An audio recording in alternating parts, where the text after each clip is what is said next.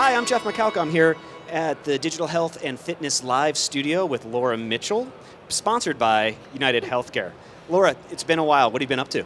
Uh, not much. Thanks for having me. I have been uh, just sort of cruising around the digital health space, um, walking the show floor. This is actually my eighth CES. Wow. So so it's uh, been so that's, fun that's to see. eight years. That's 80 years in dog years, right? That, it feels like dog years, yeah. So 56 would that be? I'm not so, good at math.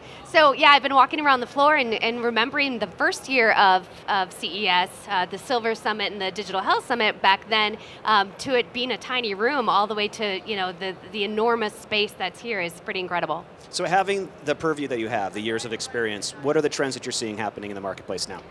Well, I think it's really interesting because last year was all about wearables, and there's still certainly a lot of wearables, but I have seen a lot of sleep health um, technologies out there, and it's just some uh, incredible uh, technologies that start from you know how you sleep to you know mitigating potential chronic conditions or, or potential medical problems. Um, also, a lot of lighting technologies that help you that you know could help you fall asleep or can help you get up in the morning. Uh, so there's a lot more of that. I'm seeing a lot more uh, pet technologies. Sure. Yep. So you can monitor your pets. Yep.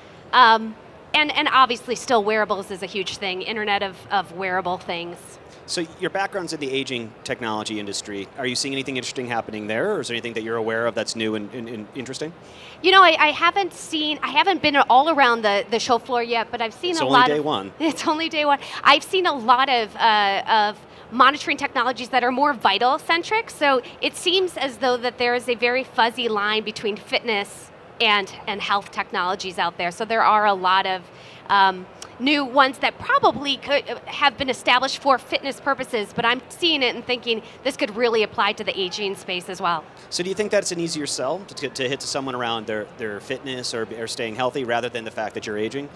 I think definitely um, that that it, it, gets a little, you can have a little more sex appeal with uh, fitness than than with uh, trying to, to, to appeal to the sex appeal of aging. Sure. Sure, that's a tough sell. Yeah, yeah. so what's what's in store for you for 2017? What do you got going on? Well, you know, I'm still running my uh, my consulting firm, at Digital Health. I, I like to help with the Digital Health Summit, obviously, sure. um, and I've got a lot of clients in the digital health space. Everything from nurse call systems and senior housing to you know my company Grand Care, mm-hmm. um, to a lot of different uh, technologies that are really trying to take that gap from aging to fitness to more health related, health technology, connected health. Sure, sure, right. Sounds awesome. Sounds like you're busy. Happy 2017. Thank you. Uh, this is Jeff McCalca at the Digital Health and Fitness Tech Live Studio, sponsored by United Healthcare. Have a great show.